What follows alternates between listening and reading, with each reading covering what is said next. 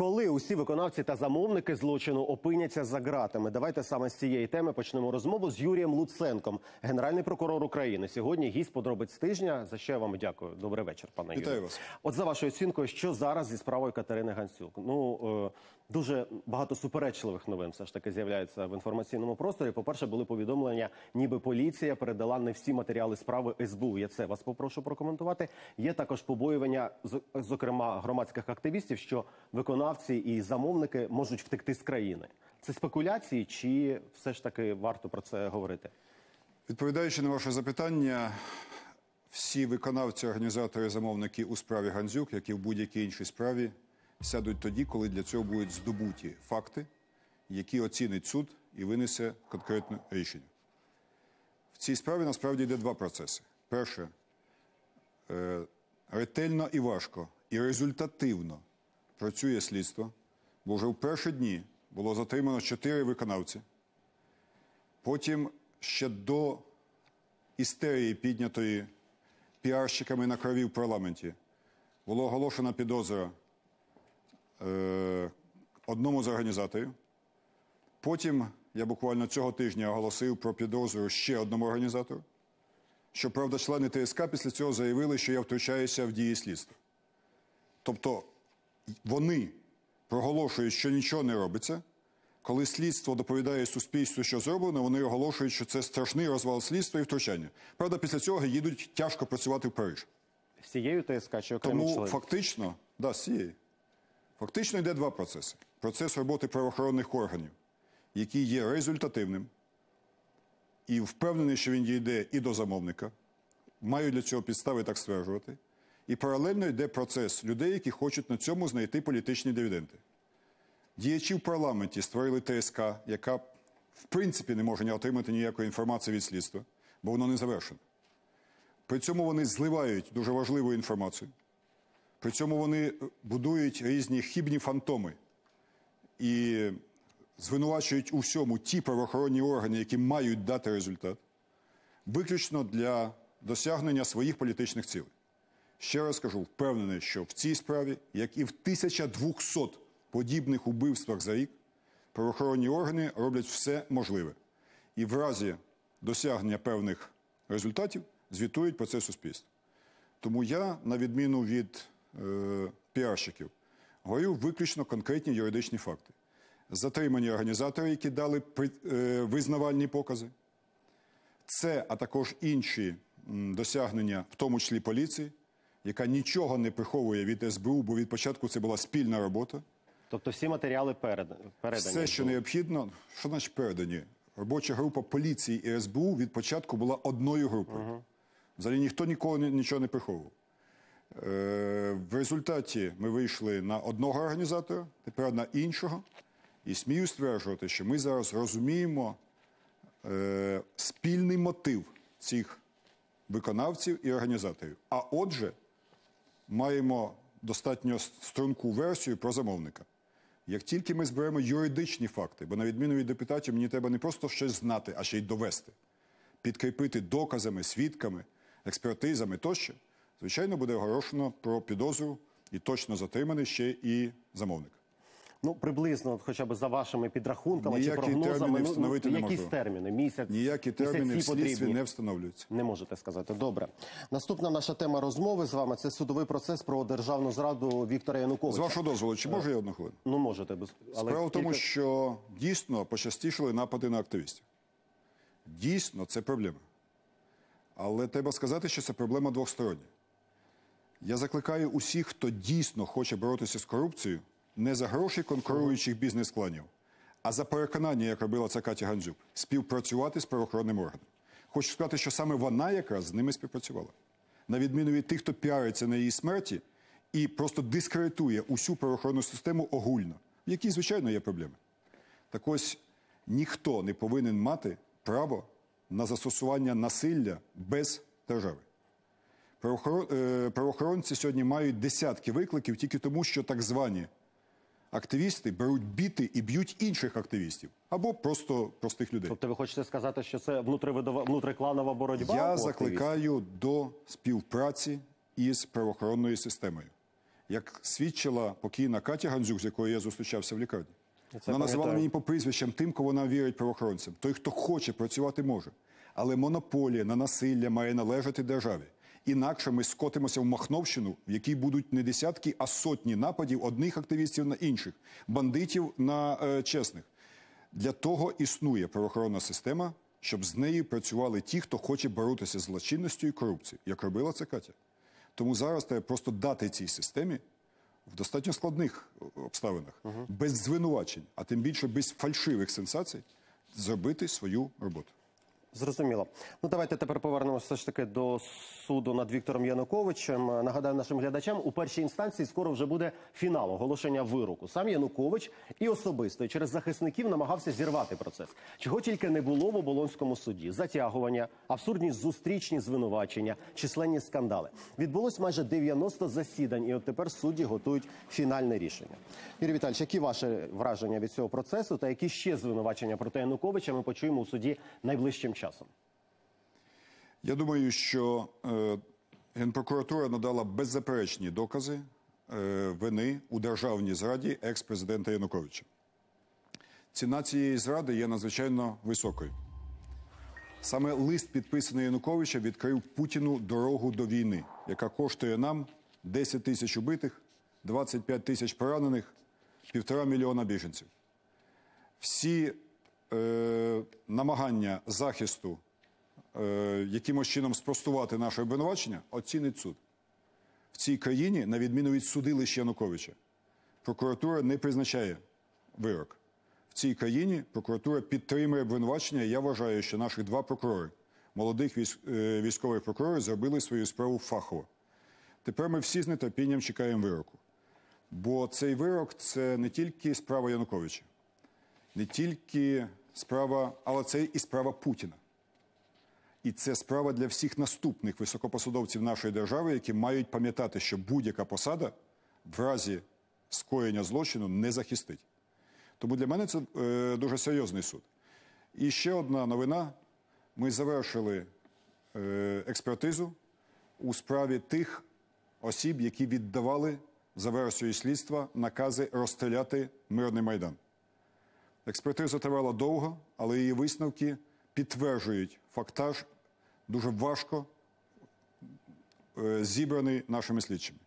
Відтак, на самому початку наступного року ми завершимо слідство і зможемо пред'явити суспільству, е, підозрюваним, а пізніше вже й обвинуваченим, докази того, що саме Янукович, Захарченко, Якименко, Шуляк, відповідно президент, керівник СБУ, МВС, внутрішніх військ та їхні підлегли е, віддали накази, через які злочинні накази, через які на Майдані загинуло більше ста осіб, більше півтори тисячі поранених, і це стало безпрецедентним подією в житті української держави.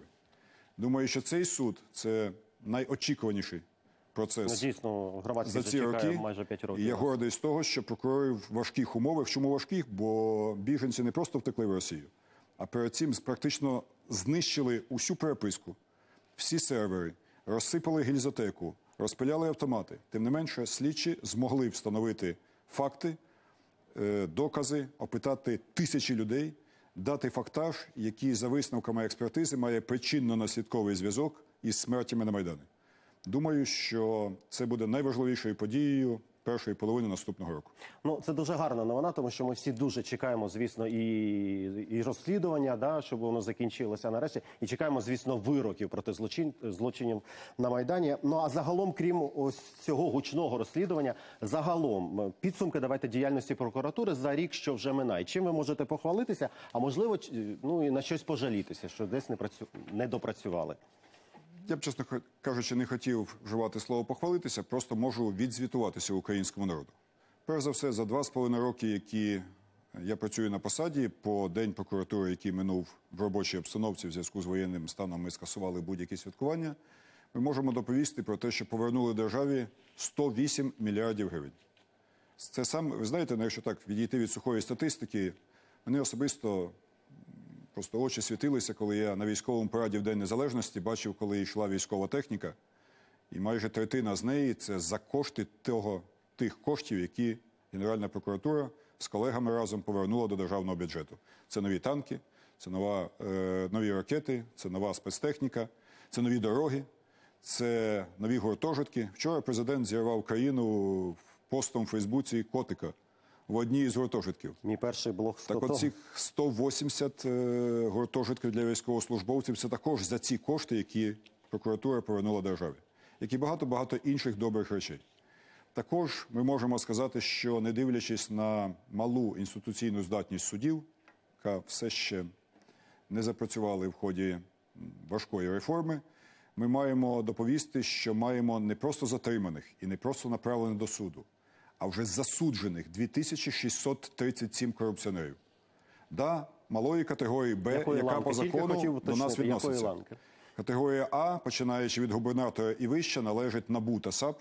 І ми сподіваємося, що наші колеги в один із своїх професійних свят також до- зможуть доповісти суспільству про свої результати. Також е, важливим з огляду на ту тему, про яку ми щойно з вами говорили, про е, вбивства, напади на активістів тощо, щоб ми зрозуміли е, ступінь проблем, маємо сказати, що це е, колосальна робота іще з загальною кримінальною злочинністю. Як відомо, за оцінками МВС в країні близько трьох мільйонів нелегальної нарізної зброї. Як ви розумієте, це колосальний виклик для ну, всієї системи.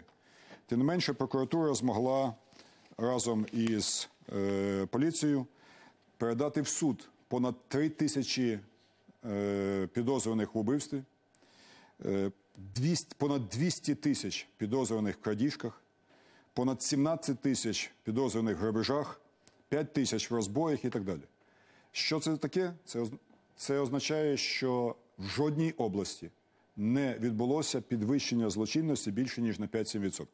Це значить, що правоохоронна система змогла утримати в надзвичайно важких умовах е, заполонені нелегальною зброєю.